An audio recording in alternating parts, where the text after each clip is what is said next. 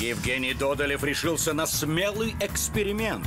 Мастер эпатажа Никита Борисович Джигурда. Джигурда преступник, Джигурда насильник, Джигурда вор и так далее. Пригласив такого гостя. Кому нужен писатель Толстоевский и вообще вся ваша русская культура сейчас, Да.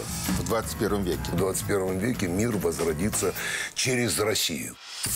До встречи с олимпийской чемпионкой Да. не было никакой личной жизни. Я отец-герой, правда, от трех жен, пятеро детей. Даня Милохин, Да.